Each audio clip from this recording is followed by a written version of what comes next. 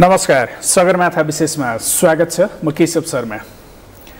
नेपालमा भएका हरेक जस्तो राजनैतिक परिवर्तन र आन्दोलनहरूमा युवा विद्यार्थीहरूको भूमिका महत्त्वपूर्ण हुने गरेको छ। अग्रभागमा युवा विद्यार्थीहरू नै रहने गरेका छन् यस्ता आन्दोलनहरूमा। यद्यपि त्यो आन्दोलन सकिएपछि मूल नेतृत्वले खोला तर्न प्रयोग गरिएको लट्ठी जस्तै उनीहरूलाई किनारमा फाल्ने गरेको भनेर गुनासो हुने गरेको छ। त्यसो त विद्यार्थी युवा विद्यार्थीहरू समेत मूल नेतृत्वको पछि लाएर नेतृत्व हत्याउनु र पदमा पुग्नु बाहेक उनीहरूले अरू गर्न सकेनन्। उनीहरूकै अघि पछि लाएर उनीहरूको गोतमा झन्डा बोक्ने बाहेकका काम गर्न सकेनन् भनेर उनीहरूमाथि समेत आरोप लाग्ने गरेको छ। खास नेपाली राजनीतिको कुरा गर्दा विद्यार्थी र युवा राजनीति खास केका लागि? नयाँ ने उनीहरूले देखेको सपना के? र नयाँ नेपालको कुरा गरिरहँदा खास नयाँ नेपाल कस्तो हुन्छ र युवा विद्यार्थीहरूले देखेको सपना के हो?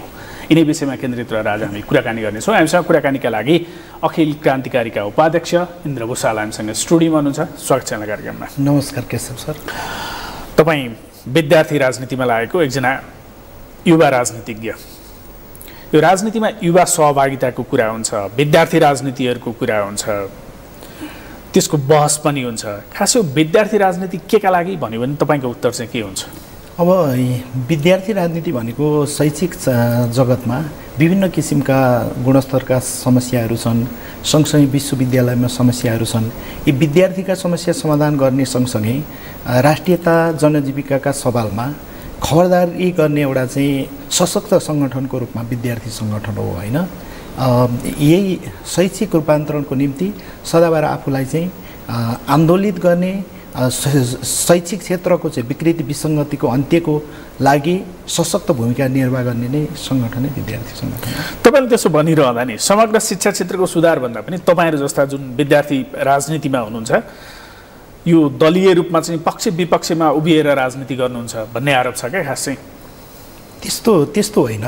अब काहीँ त्यस्तो अब पार्टीहरूसँग जोडिएर कुनै व्यक्तिसँग जोडिएर पार्टीका नेतासँग जोडेर त्यो भन्नु स्वाभाविक हो। तर अब पार्टीको मु मुख्य स्पिडलाई समातेर विद्यार्थी सङ्गठनले गर्नुपर्ने कामहरू गर्ने हो। त्यो कहाँ गतिविधि अगाडि बढाउँदै गर्दा कुनै नेतासँग जोडिए जस्तो त देखिन सक्छ तर त्यस्तो होइन। सरस्वती हेऱ्यो भने नि अहिले प्लस टू दिएपछि नेपालमा किन बस्ने भन्ने खालको त्यो मानसिकता विकास भएको जस्तो देखिन्छ क्या युवा विद्यार्थीहरूमा। त्यसलाई कसरी रोक्ने शिक्षा सुधारमा के के गर्ने ती अभियानहरू गर्नुभन्दा पनि राजनीतिक दल केन्द्रित हुनुभयो तपाईँहरू भन्ने आरोप चाहिँ सही होइन? होइन अब त्यस्तो त बाहिरबाट हेर्दा त्यस्तो देखिन्छ तर हामीले विश्वविद्यालयहरू कस्तो भएको छ भने पछिल्लो समय विश्वविद्यालयहरू चाहिँ एउटा सर्टिफिकेट लिने केन्द्र जस्तो भएको छ। यसलाई सिपमूलक एवं व्यावसायिक शिक्षामा हामीले जोड्नुपर्छ। र अर्को बाहिर किन विद्यार्थी जान्छन् त्यही सब्जेक्ट नेपालमै छ भन्ने छ नि त। हामीले यहीँ विद्यार्थीहरू पढ्न चाहन्छन् स्वदेशमै केही गर्न चाहन्छन् हामीले वातावरण सिर्जना गर्न सकिन्छ रोजगारसँग जोड्न सकेका छैनौँ। बेरोजगार समस्याको कारणले गर्दा विद्यार्थी दक्ष भइसकेपछि नै बेरोजगार बस्नुपर्ने उसको आय आम्दामीको कुनै स्रोत नहुने कारणले गर्दा विदेशमा गएर पढ्दै कमाउँदै हुने वातावरण त्यहाँ विदेशमा हुने भयो। नेपालमा चाहिँ हामीले रोजगारको कुनै पनि वातावरण बनाउन सकेका छैनौँ। त्यसर्थ विद्यार्थीहरू विदेशमा जान्छन्। हामीले विश्वविद्यालय सुधार सँगसँगै हामीले हाम्रो विश्वविद्यालयलाई चाहिँ रचनात्मक सृजनात्मक र सिपमूलक विश्वविद्यालयको रूपमा विकास गर्नुपर्छ।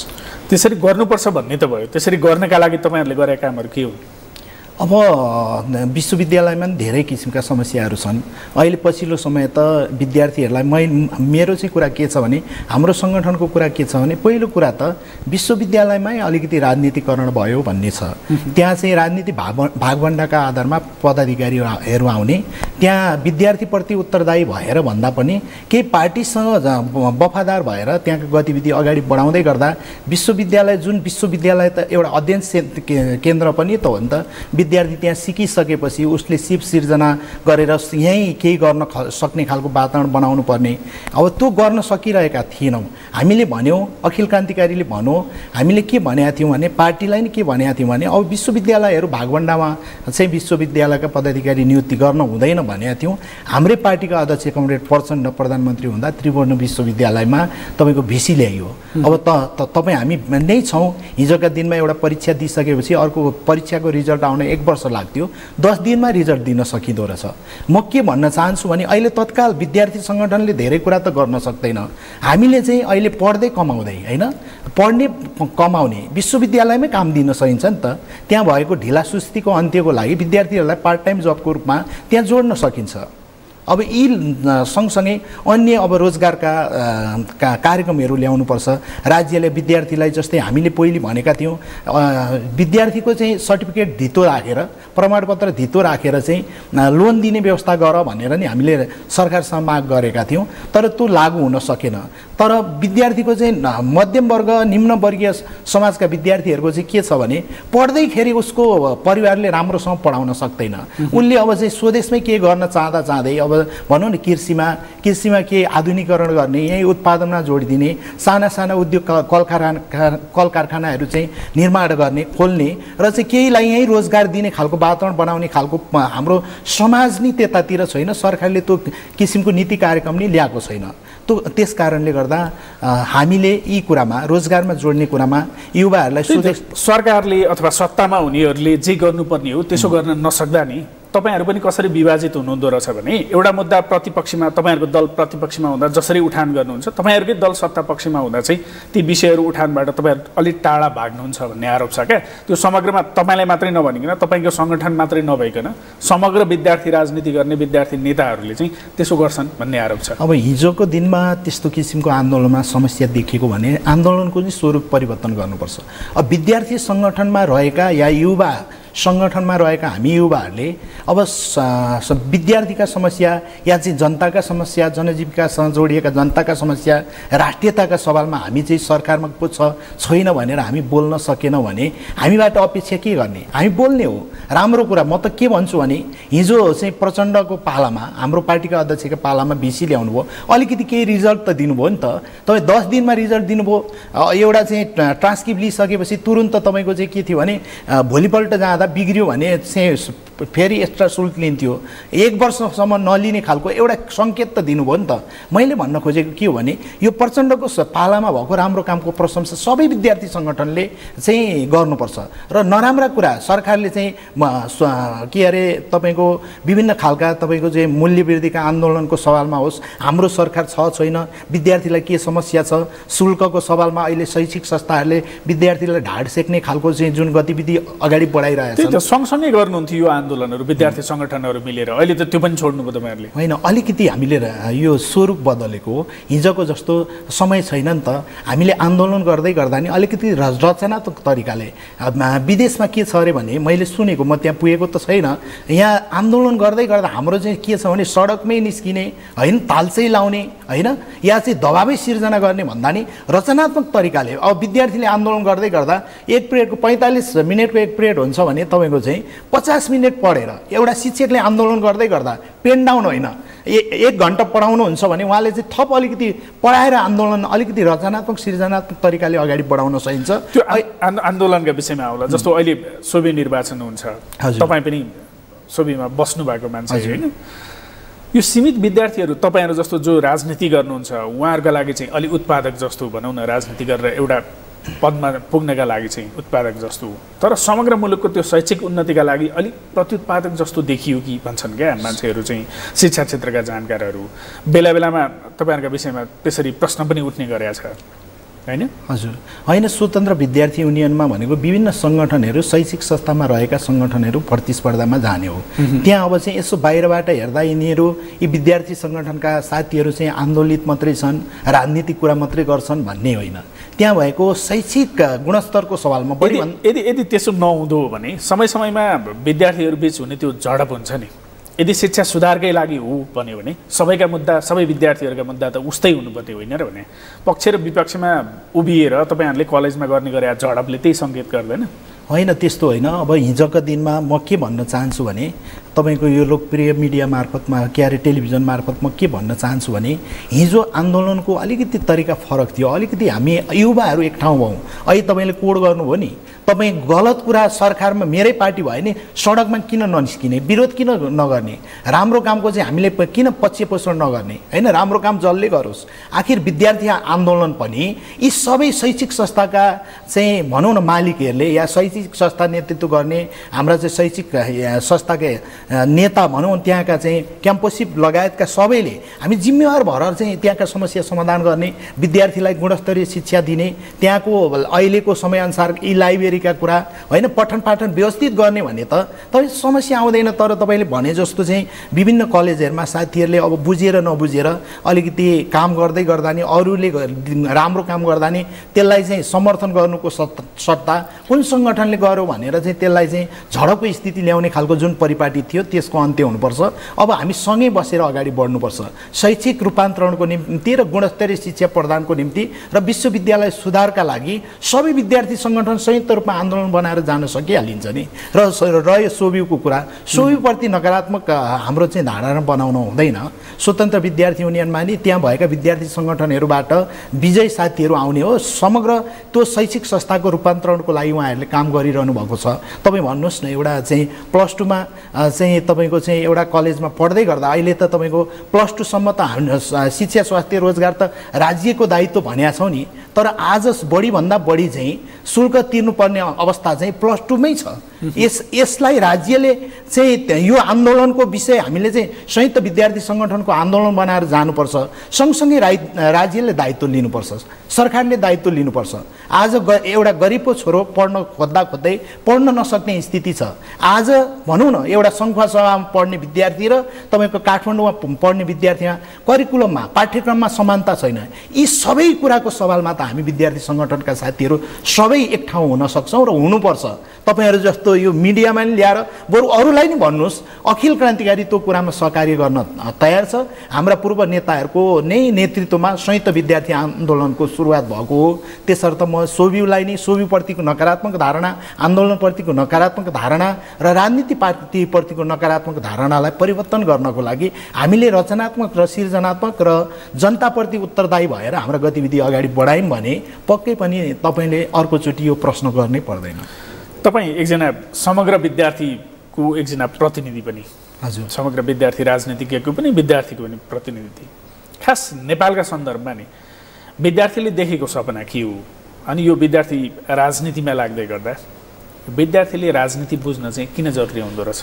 यो राजनीति भनेको सबै नीतिहरूको राज गर्ने नीति हो। राजनीतिभन्दा टाढा कोही हुन्न। यो मुलुकको विकास गर्नको लागि पनि राजनीति पार्टीहरू इमान मैले मैले जान्न खोजे चाहिँ यो राजनीति भने चाहिँ कुकुरदेखि चितासम्म प्रभाव पार्छ भन्छन् क्या। त्यसकारण सबैले त्यो परिवार मानव समाज राजनीतिभन्दा त्यो अलग चाहिँ रहन नसक्ला। यद्यपि विद्यार्थीका सन्दर्भमा त्यसको छुट्टै प्रभाव अथवा चाहिँ थप केही हुन्छ कि भनेर जान्न खोजे होइन विद्यार्थीको सवालमा कस्तो भने विद्यार्थी पढ्नको लागि मात्रै विश्वविद्यालय आउने होइन। आज चाहिँ राजनीति पार्टीका नेताहरू यस्ता भयो उस्ता भयो भनेर हामी चाहिँ विद्यार्थी युवा विद्यार्थी नै विरोध गरिरहेका छौँ। हामी राम्रो भएर देखाउँ न विद्यार्थी सङ्गठनमा लागेर विद्यार्थी सङ्गठनले खेल्नुपर्ने भूमिकाको विषयमा नै हजुर मैले यहाँ जानकारी गराइसकेको छु। त्यहाँ आएर राम्रा विद्यार्थीहरू आएर शैक्षिक रूपान्तरणको यो आन्दोलन सँगसँगै जनजीविकाका सवालमा हिजोको परिस्थिति र आजको परिस्थिति फरक छ। तर उहाँहरू त्यहाँ आइसकेपछि विद्यार्थी सङ्गठनमा आबद्ध भइसकेपछि उहाँहरूले खेल्ने उहाँ हिजो परिवारको बोध लिएर अगाडि बढ्नुहुन्थ्यो तर विद्यार्थी सङ्गठनमा आबद्ध भएपछि यो राष्ट्रको बोध राष्ट्रमा देखिएका समस्याप्रति आफूलाई चाहिँ इमान्दार रूपमा अगाडि बढाउने कोणबाट उहाँहरूले प्रस्तुत गर्न सक्नुहुन्छ चाहनुहुन्छ त्यो भएको कारणले गर्दा विद्यार्थी सङ्गठनको महत्त्व छ। म समग्र विद्यार्थी युवा साथीहरूलाई विद्यार्थी साथीहरूलाई सङ्गठनमा आबद्ध भएर सङ्गठनभित्र विभिन्न सङ्गठनभित्र देखिएका विकृति नराम्रा पक्षहरूको चाहिँ नकार पक्षको अन्त्य गरेर सकार पक्ष यो मैले गरेको क्रान्तिकारीले गरेको सबैलाई महसुस हुनु पऱ्यो नि। अखिल क्रान्तिकारीले गरेको आन्दोलन भनेको यो चाहिँ जनताको लागि हो। यो चाहिँ आधारभूत समुदायको लागि हो। यो चाहिँ सबै खाले मान्छेको लागि हो भन्ने खालको सन्देश दिने खालको आन्दोलन बनाउनको लागि राम्रा मान्छेहरू यो आन्दोलनमा जोडिनुपर्छ। सरसर्ती हेऱ्यो भने नि नेपाली त्यो राजनीतिक आन्दोलनको अग्रपङ्क्तिमा रहने अनि त्यो चेतना छर्ने काम विद्यार्थीहरूले गरे हुन् भन्दा अन्यथा त नहोला। तर आज आफै त्यो विद्यार्थी राजनीति अस्तित्व अनि प्रश्नको घेरामा त छ नि होइन? छ। छ। हाम्रा केही केही व्यक्तिहरूका विभिन्न सङ्गठनमा जोडिएका केही व्यक्तिहरूका आचरणको कारणले उहाँहरूका प्रविधिको कारणले उहाँहरूका उठबसको कारणले गर्दा आज विद्यार्थी सङ्गठनभित्र चाहिँ प्रश्न प्रश्नको केन्द्र जस्तो बनेको छ। हामीले विद्यार्थी सङ्गठन या राजनीति पार्टीहरूलाई प्रश्नको केन्द्र होइन उत्तर दिने केन्द्र म- मैले मैले त्यही जान्न खोजेँ। त्यसो किन भयो त्यो विद्यार्थी सामु चाहिँ त्यो आन्दोलनको सार्थकता प्रमाणित गर्नुपर्ने त्यो चुनौती चाहिँ किन देखियो तपाईँहरूको सामु चाहिँ? होइन मैले अघि पनि भने यो आन्दोलनभित्र मौलाएको यो राजनीतिभित्र मौ मौलाएको अलिकति केही प्रविधिको कारणले गर्दा यो विद्यार्थी सङ्गठनलाई अलिकति यो होइन भन्ने खालको पुष्टि गर्नुपर्ने हामी ठाउँ यो ठाउँमा छौँ। आगामी दिनमा यस्ता किसिमका जुन खराब प्रविधिहरू देखिएका छ त्यसको अन्त्य गरेर यसलाई हामीले चाहिँ विद्यार्थी सङ्गठन अहिले तपाईँले प्रश्नको केन्द्रको रूपमा होइन यो चाहिँ उत्तर दिने सङ्गठन यो परिवर्तन र चाहिँ विविध खालका चाहिँ समस्या देखिए मुलुकमा जब जब समस्याहरू देखिन्छन् जब जब आन्दोलनहरूको चाहिँ सुरुवात हुन्छ त्यसो अग्र मोर्चामा रहेर मुलुकको परिवर्तनको लागि आफूलाई चाहिँ सशक्त तरिकाले अगाडि बढाउने सङ्गठनको रूपमा हामीले चाहिँ स्थापित गर्नुपर्छ। अलिकति अघि तपाईँले विद्यार्थी आन्दोलनको कुराहरू गर्दै हुनुहुन्थ्यो। विद्यार्थी आन्दोलनको त्यो कार्यशैली छ नि जुन चाहिँ त्यो अलिकति परम्परागत भयो अहिलेसम्म जे देखिया छ भने पनि कति सही हुन्छ?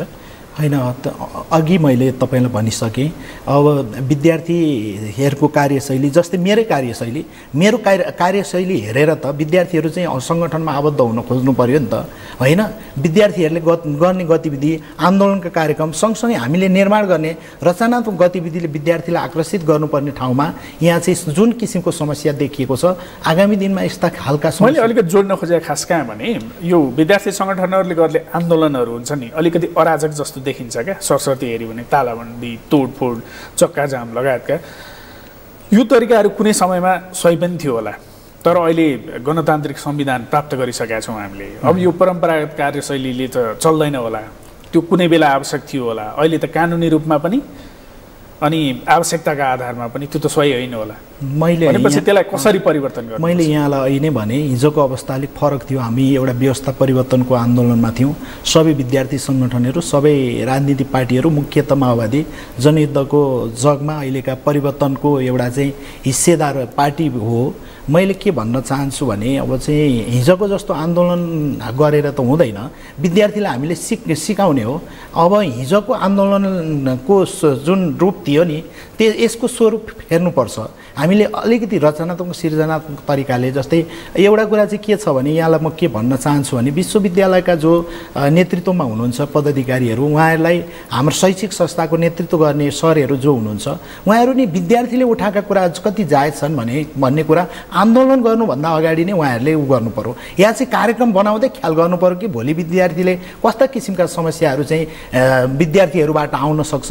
हामी विद्यार्थीप्रति कति उत्तरदायी हुने सुधारका कुरामा जस्तै अहिले अहिलेको यहाँको विद्यार्थी भनेको त विश्वका यो लेभलका विद्यार्थीसँग प्रतिस्पर्धा गर्ने खालको विद्यार्थी बनाउनको लागि हाम्रो भूमिका के हो भन्ने कुरा चाहिँ तपाईँको चाहिँ उहाँहरूले मनन गर्नुभयो भने तपाईँले भने जस्तो हामीले न तालसा लाउनुपर्छ न तोडफोड तपाईँले अलिकति यो भनिदिनुहोस् त। तपाईँ विद्यार्थी राजनीति गरिरहँदा यहाँसम्म पुगिरहँदा विद्यार्थी राजनीतिको एउटा पदमा बसिरहँदा नि विद्यार्थी राजनीति अथवा युवा राजनीतिज्ञलाई हेर्ने दृष्टिकोण कतिको सकारात्मक छ समाजको? चाहिँ समाजमा राजनीति गर्ने व्यक्तिलाई हेर्ने पछिल्लो समय भनौँ न कस्तो भयो भने राजनीति गर्ने नि कस्तो भयो भने एक त एउटा आन्दोलनबाट आउने नेताहरू हुनुभयो। अर्को के भयो भने यो अहिले पछिल्लो समय हाम्रो समाजमा मौलाएको कुरा के छ भने तिनै नेताहरूलाई गाली गरेर जो चाहिँ भनौँ न हाम्रो देश त विकासोन्मुख राष्ट्र हो नि त विकासको गतिमा अगाडि बढिरहेको छ सबै कुरा भने जस्तो एकैचोटि परिवर्तन भएको छैन।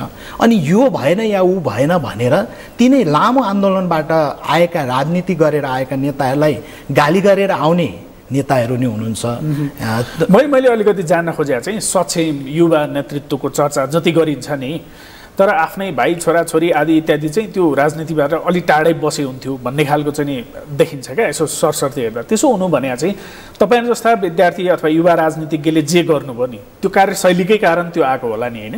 होइन त्यस्तो छैन। त्यस्तो छैन। तपाईँ हाम्रो पार्टीमा हेर्नुभयो भने त एउटा परिवारका सबै सदस्य जस्तो हाम्रो चाहिँ पार्टीमा कोही विद्यार्थीमा हुनुहुन्छ कोही मजदुरमा हुनुहुन्छ कोही युवामा हुनुहुन्छ कोही पार्टीमा हुनुहुन्छ होइन? अब त्यस्तो आफ्ना छोराछोरीलाई चाहिँ राजनीतिमा नजोडेर जनताका छोराछोरी जोड्ने भन्ने खालको जो भाष्य सिर्जना गरिन्छ नि हाम्रो पार्टीमा त्यो किसिमको समस्या छैन। तर तपाईँ हेर्नुहोस् न आज तपाईँको चाहिँ हाम्रो चाहिँ सफल मेयर अ, भरतपुर मा महानगरपालिकाको सफल मेयर रेणु दाल सबै प्रक्रिया पुरा गरेर सङ्घर्षबाट हिजो जनयुद्धबाट आएको उहाँ चाहिँ उहाँलाई तपाईँले भने जस्तो तपाईँले गरे जस्तो प्रश्न हो भने त आज रेणु दाल तपाईँको भरतपुर महानगरपालिकाको चाहिँ मेयर हुनुहुन्न थियो त्यस्तै विभिन्न हाम्रा पार्टीका नेताहरूका छोराछोरी पनि मैले तपाईँहरूको सङ्गठनको अथवा तपाईँहरूको पार्टीको मात्रै नभइकन समग्र कुरा गरे खासमा चाहिँ त्यो देखिन्छ नि होइन समाजमा त्यस्तो त छैन तर एकाध नेताहरूमा त्यो देखिएला त्यस्तो होइन। अब हामीलाई त विचारले होइन आन्दोलनले उठान गरेका विषयवस्तुले आकर्षित गर्ने हो नि त। अब त्यो कुरामा आफ्नै परिवारलाई मोटिभेट गर्न नसक्दै गर्दा समग्र जनतालाई मोटिभेट गर्न सक्ने कुरा त हुँदैन। त्यसर्थ त्यस्तो तपाईँले भने जस्तो त छैन। एकाधमा त्यस्तो समस्या होला त्यस्तो भए तापनि जनताका छोराछोरीलाई आन्दोलनमा चाहिँ अगाडि बढाएर आफ्ना छोराछोरीलाई चाहिँ आन्दोलनबाट बाहिर राख्ने भन्ने कुरा त हुँदैन। समग्रमा हेऱ्यो भने जस्तो तपाईँहरू भयो त्यसपछि अरू अरू मूलधारका दलहरू सबैजसो पुराना दलहरूमा के? त्यो युवा पङ्क्ति नै देखिन्छ त्यो नेता कार्यकर्ताहरूको यसो लहर हेऱ्यो भने। अनि त्यो वरिष्ठ नेताहरू अथवा चाहिँ शीर्ष नेताहरूको अघि पछि लाग्ने पनि तपाईँहरू जस्तै युवाहरू देखिनुहुन्छ। कतिपय विषयहरूमा चाहिँ नि विद्रोह गर्नु त्यो नेतृत्व लिनु भन्दा पनि उनीहरूकै अघि पछि लागेर पद प्राप्त गर्न थाल्नुहुन्छ। त्यसकारण चाहिँ तपाईँहरूले जे विषयहरू उठाउनु पर्थ्यो नि विद्यार्थी युवाका सन्दर्भमा ती उठाउन चाहिँ चुक्नुहुन्छ भन्ने आरोप छ। कति सही हो? त्यस्तो त्यस्तो होइन। त्यस्तो किन होइन भने जस्तै हामी पार्टीको जनवर्गीय सङ्गठन भएपछि कुनै न कुनै नेता अब पार्टीले नै खटाएको हुन्छ। त्यसो होइन होला र कतिपय जस्तो तपाईँहरूकै महाधिवेशन अथवा अधिवेशनका सन्दर्भमा पनि तपाईँहरू जसरी चाहिँ नि निर्वाचित भएर कुनै कुनै बेला चुनावै भएर कुनै बेलामा जसरी आउनुहुन्छ नि ती आउँदै गर्दा नेतृत्वको अघि पछि नलागिकन त्यहाँ आउन सम्भव देखिँदैन। त्यसकारण पनि उनीहरूले त्यसो गर्छन् भन् भन्छन् क्या। होइन त्यस्तो राजनीतिक पार्टीहरूमा त्यस्तो किसिमको समस्या त एकाध देखिन देखिन्छ। तर मलाई के लाग्छ भने तपाईँहरूले यसो हेर्दाखेरि बाहिरदेखि हेर्दाखेरि हामी त जनवर्गीय सङ्गठन विद्यार्थी सङ्गठन भनेर त माओवादी केन्द्रको भातृ सङ्गठन हो नि त। हामी कुनै न कुनै रूपमा पार्टीका नेताहरूलाई त्यहाँको विद्यार्थी सङ्गठनको जिम्मेवारी दिएर पठाउँदै गर्दा उहाँहरूसँग काम गर्ने उहाँहरूको गार्जेनसिपमा हामीले काम गर्ने हुँदाखेरि तपाईँले भने जस्तो चाहिँ नेताहरूसँग जोडिँदै गर्दा जनताप्रति हाम्रो जनता भनेको त विद्यार्थी हो। विद्यार्थीका मुद्दा र एजेन्डा कमजोर होला कि भन्ने प्रश्न महत्त्वपूर्ण प्रश्न छ। तर त्यस्तो होइन। हामी नेताहरूसँग नेताहरूको चाहिँ भनौँ न सल्लाह सुझाव अनुसार विद्यार्थीको सवालमा जनजीविकाका सवालमा कसरी अगाडि बढाउने हाम्रो आन्दोलन कसरी रचनात्मक र सृजनात्मक बनाउने भनेर जोडिँदै गर्दा त्यस्तो देखिएको होला। तर काहीँ तपाईँले भने जस्तो तपाईँले भने जस्तो प्रश्न गरे जस्तै सबै त होइन तर एकाध त्यस्तो नि देखिएको छ त्यो हुन हुँदैन। जस्तो यो विद्यार्थी राजनीतिमा त्यो नेतृत्वमा पुग्ने होड मात्रै अलिक बढी भयो त्यसो हुँदा चाहिँ नेताहरूको अगाडि पछाडि लाग्ने भयो भन्छन् क्या? होइन त्यस्तो होइन। त तपाईँ भन्नुहोस् न म सामान्य एउटा सङ्खुवासभाबाट आएको मान्छे। म त मेरो त काका मामा कोही छैन नि त तर यो सङ्गठनमा म साधारण सदस्यदेखि आज केन्द्रको उपाध्यक्षसम्म पुग्न म कोही नेताको साथ सहयोगले पुगेको होइन। मैले यो आन्दोलनप्रति खेलेको भूमिकाको कारणले मैले पाएको जिम्मेवारी। मलाई त्यस्तो लाग्दैन। नेतासँग जोडिएको सम समग्रमा भनिदिनुहोस् त नेतृत्वमा को पुग्ने भन्नुभन्दा अगाडि चाहिँ सुरु हुने संवाद भने चाहिँ खास चाहिँ नेतृत्व के का लागि हुनुपर्ने हो नि होइन। अहिले सबैजसो सङ्गठनहरूमा तपाईँहरूमा हेऱ्यो भने अरू विद्यार्थी सङ्गठनहरूमा अरू युवा सङ्गठनहरूमा हेऱ्यो भने त्यो देखिन्छ? अब फेरि साथीहरूलाई सहयोद्धा साथीहरूलाई यो मैले यो विषयमा बोल्दै गर्दा उहाँहरूलाई नै आँच पुग्न सक्छ होइन? अब त्यहाँ के गर्ने भन्ने विषय नै प्रमुख हो। यो शैक्षिक आन्दोलनको म लिडर हो नि त। तपाईँ विद्यार्थी सङ्गठनको अध्यक्ष तपाईँले त्यही कोड अहिले सरस्वती हेर्दा चाहिँ को पुग्ने भन्ने होड मात्रै होइन यो त। प्रतिस्पर्धा त भइहाल्छ नि। अब एउटा भनौँ न एउटा स्वस्थ प्रतिस्पर्धा हाम्रा साथीहरू बिच नै गर्नुपर्छ। अहिले तपाईँले भनेको प्रश्नको उत्तर नै हो नि त। जस्तै होडबाजी त हामीले त के गरेका छौँ भने यो प्रश्न अर्कोचोटि सोध्नुपर्छ जस्तो मलाई किन लाग्दैन भने हिजो चाहिँ हामी मनोनित गरेर भनौँ न सर्वसम्मत चुनिन्थ्यौँ भने अहिले हामी चाहिँ एउटा प्रतिनिधि पनि हाम्रो सङ्गठनको केन्द्रीय अध्यक्ष कुनै शैक्षिक संस्था या भूगोलबाट जिल्लाबाट या प्रदेशबाट चाहिँ उहाँ चुनिएर आउनुपर्छ भनिसकेपछि हामीले त अहिले त त्यो छैन। अब सबैको चाहिँ सङ्गठनको फर्स्टमेन भएर आफ्नो योजनाअनुसार सङ्गठनलाई अगाडि बढाउँ। यो शैक्षिक ने आन्दोलनको नेतृत्व गरौँ। भन्ने त हुन्छ तर अब तपाईँले भने जस्तो त्यसकै लागि होडबाजी त्यसकै लागि यहाँसम्म आइपुग्न नि त ठुलो चाहिँ योगदान गरेर आएका साथीहरू हुनुहुन्छ। त्यो योगदान गरेर आएका साथीहरूको प्रतिस्पर्धालाई यो होडबाजीको रूपमा लिन हुँदैन। जब जब मूलधारको राजनीतिमा प्रश्न उठ्छ अथवा चाहिँ नि आम मान्छेहरूको निराशाको कुरा हुन्छ त्यसपछि चाहिँ युवा राजनीति युवा सहभागिताको कुरा पनि उठ्छ क्या राजनीतिमा चाहिँ। कति सहज चाहिँ कति छ राजनीतिमा युवाहरूको सहभागिताको विषय चाहिँ? युवाहरूको सहभागिता हाम्रो पार्टीमा त युवा सहभागिताको स- सवालमा समस्या छैन। हाम्रो चाहिँ अब हाम्रो सबै अघि भने नि सङ्गठनका सबै आफ्ना भूमिकाहरू निर्वाह गरेर हाम्रो सङ्गठनमा के छैन भने कोहीसँग जोडिएको आधारमा सङ्गठनको प्रमुख जिम्मेवारी पाउँछ भन्ने छैन। त्यो भएको कारणले गर्दा तपाईँको चाहिँ युवाहरूलाई युवाहरूलाई अखिल क्रान्तिकारी या माओवादीका युवा सङ्गठनहरूमा चाहिँ आएर काम गर्ने कुरामा कुनै पनि किसिमको समस्या छैन। यहाँ कुनै पनि किसिमको समस्या छैन। म त भन्न चाहन्छु यो आन्दोलनको उप आज जसरी तपाईँ र म छलफल गरिरहेछौँ गणतन्त्र आयो सङ्घीयता धर्मनिरपेक्षता हाम्रा माओवादी पार्टीले चलाएको जनयुद्ध र विभिन्न खाले आन्दोलनको उपज हो। त्यस कारणले गर्दा भन्नुहोस् न हाम्रो पार्टीका अध्यक्षले त के भन्नुभएको छ भने यो बालेन शाह बालेन शाह त तपाईँलाई म भन्न चाहन्छु। कुनै बेला केही सिसी कलेजको चाहिँ त्यहाँको चाहिँ हाम्रो अहिले के कमिटीमै हुनुहुन्छ उपमहासचिव एकजना साथीको नेतृत्वमा कमिटीमा हुनुहुन्थ्यो। आज यी युवाहरूलाई चाहिँ सम्भावना छैन भन्ने कुरा त त्यो कुराले क्रस गरौँ पार्टीभित्र या बाहिर बालेन शाह लगायतका चाहिँ अहिले जो स्वतन्त्र रूपमा नि आइरहनु भएको छ नि यो वातावरण त यो माओवादी आन्दोलनको कारणले भएको हो त्यसर्थ म के भन्न चाहन्छु भने माओवादीमा त्यस्तो किसिमको समस्या छैन। भनेको बालेन शाह चाहिँ हिजो तपाईँहरूसँगै काम गरेर बाहिर आएर बालेन शाहले अहिले नभन्नु होला। होइन तर तर बालेन शाह त हाम्रो कमिटीमा बस्नुभएको थियो। अहिले मैले भन्दै गर्दा चाहिँ साथीहरूले आफ्ना विभिन्न कुराहरू चाहिँ राख्नु होला। तर मतलब यो चाहिँ युवाहरूको आकर्षण थियो। विभिन्न भनौँ न जनवर्गीय सङ्ग सङ्गठनमा मजदुरहरूको आकर्षण थियो। यो अखिल क्रान्तिकारीमा जोडिएर काम गर्ने त्यति बेरको आकर्षण थियो। अहिले त्यही आकर्षणलाई फेरि परिमार्जित गरेर समग्र विद्यार्थीलाई चाहिँ अखिल क्रान्तिकारी एउटा आकर्षणको केन्द्र बनाऊ भन्ने हाम्रो नि योजना छ अलिकति तपाईँ यो राजनीतिकर्मी भएपछि नि यो के भन्छन् भने युवा सहभागिताको विषय पनि उठ्छ राज युवा सहभागिता भयो भने यसो हुन्छ भन्ने विषयहरू पनि उठ्छ क्या। तर अहिले जे छ नि नेपालमा यो गरिबी बेरोजगारी पछौटीपन कामका लागि विदेश जानुपर्ने बाध्यता लगायतका जे जे विषयहरू छन् साँच्चीकै यो युवा सहभागिताले यी चिजहरूको अन्त्य हुनसक्छ। यो राजनीतिभित्र देखिएका समस्याहरू जो समस्याहरू छन् देशको समस्याको सवालमा सबै पार्टीका नेताहरू तपाईँको एक ठाउँ हुनु पर्यो होइन त बेरोजगार समस्याको त मैले जान्न खोजे यही जस्तो फगत राजनीतिले देश विकास त हुँदैन होला। राष्ट्रिय मुद्दामा साझा धारणा नबनाइकन अहिले जस्तो मूलधारकै तपाईँहरूकै शीर्ष नेतृत्वहरूको त्यो चर्को आलोचना एकअर्काप्रति आलोचना गरिरहेको तपाईँहरूकै विद्यार्थी आन्दोलनमा पनि बेला बेलामा हुने झडपहरू जे जे देखिन्छन् नि यिनीहरूले साझा मुद्दा बनाइकन अगाडि नगइकन फगत राजनीतिले मात्र देश विकास त हुँदैन होला। होइन त साझा समस्या जनताका समस्या त साझा हुन् हामीले सपना बाँड्ने मात्रै होइन। हामीले ती सपना पुरा गर्नुपर्छ जनतालाई बाँडेका सपना पुरा गर्नुपर्छ। भोलिको दिन त यस्तो आउन सक्छ जनताका समस्याहरू धेरै समाधान भइसकेपछि यी धेरै राजनीतिक पार्टीहरू आएका छन् नि। यो बेरोजगार समस्याको कारणले गर्दा युवाहरू चाहिँ अलिकति विचलित मानसिकतामा छन्। एकदम फ्रस्ट्रेट छन्। यी फ्रस्ट्रेट युवाहरूलाई पार्टीमा जोड्ने होइन। अब श्रम र सिर्जनामा जोड्ने हो। अब उत्पादनमा जोड्ने हो। त्यो खालको वातावरण बनाउनु पर्यो। आज प्रचण्डले ल्याएको योजना राम्रो छ भने केपी ओली र शेरबहादुरले किन साथ नदिने? या अहिलेको प्रधानमन्त्रीले राम्रो कार्यक्रम ल्याउनु भने हामीले किन साथ नदिने? हाम्रो चाहना भनेको नेपाली जनताको मुक्तिको लागि हामी लडेका मान्छेहरू। आज चाहिँ जनताका समस्या समाधान आज बेरोजगार भनौँ न एउटा साथी एउटा विद्यार्थी मास्टर्स गर्छ। ऊ चाहिँ मास्टर्स गरिसकेको सर्टिफिकेट लिएर विदेशमा रोजगारीको लागि जानुपर्ने खालको स्थिति छ। यो स्थितिबाट त मुक्त बनाउनु पर्यो नि। नेपाली युवाहरूलाई चाहिँ आफ्नो उमेरमा सृजनशील उमेरमा चाहिँ विदेशमा जाने त्यहाँ श्रम अब विदेशीलाई श्रम बेच्ने अनि जब कमजोर हुन्छ नि त्यस पछाडि नेपाल फर्किने खालको वातावरण होइन?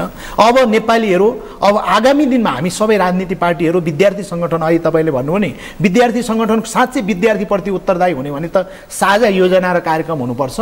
हामीले चाहिँ अब के बनाउनुपर्छ भने आगामी दिनमा के बनाउनुपर्छ भने केशव सर म तपाईँलाई आग्रह गर्न चाहन्छु तपाईँले अरूलाई नि भन्नु होला आगामी दिनमा सोध नेपालीहरू विदेशमा रोजगार गर्न होइन विदेशमा घुम्न जाने हो। विदेशमा केही दिन घुम्न जाने हो हेर्न जाने हो तर यहाँ उत्पादनमा जोडिने श्रममा जोडिने रोजगार यहीँ मा यही माटोमा फुल फुलाउने खालको वातावरण सरकारले बनाउनु पर्यो राजनीति पार्टीहरू एक ठाउँ आउनु पर्यो। हामी युवा विद्यार्थीहरू अहिले तपाईँले भने जस्तो तैँले ल्याएको एजेन्डा मैले ल्याएको एजेन्डा होइन। अब राम्रो एजेन्डा कसले चाहिँ लिएर आउँछ त्यसलाई साथ दिएर अगाडि बढाउँ न पक्कै पनि मुलुक बन्दैन र।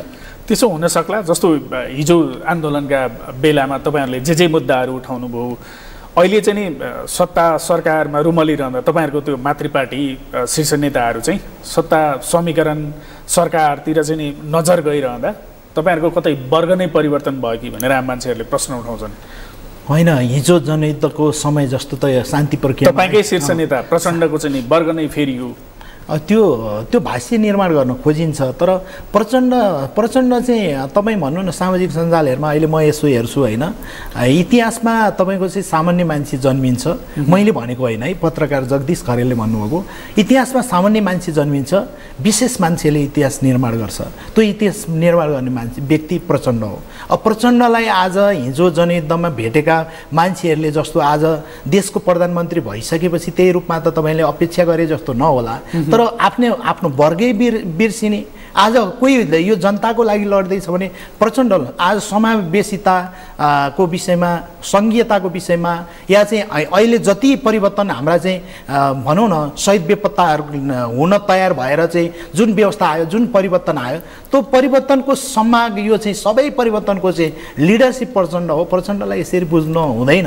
प्रचण्ड भनेको व्यक्ति होइन प्रचण्ड भनेको एउटा आन्दोलन हो। प्रचण्डलाई साथ दिनुपर्छ। आज पनि हेर्नु सरकार बाहिर हुनुहुन्छ। हिजो सरकार बाहिर हुँदाखेरि अन्य पार्टीका नेताहरूले कसरी चाहिँ आफूलाई प्रस्तुत गरेका थिए? तर प्रचण्ड आज सरकार बाहिर हुँदा पनि देशका समस्या समाधान गर्ने सवालमा उहाँ एक ठाउँ हुनुहुन्छ। उहाँले सहयोग गर्नुहुन्छ रचनात्मक सहयोग गर्नुहुन्छ। तर आज जो चाहिँ अधिकारहरू आधारभूत समुदायले पाएका अधिकारहरू खोज्ने काम भयो भने त्यहाँ खबरदारी नै हुन्छ। त्यहाँ खबरदारी हुँदै गर्दा चाहिँ आन्दोलन सुरुवात भयो तपाईँहरूको कुरो मिलेन भनेर तपाईँले बुझ्नु भएन।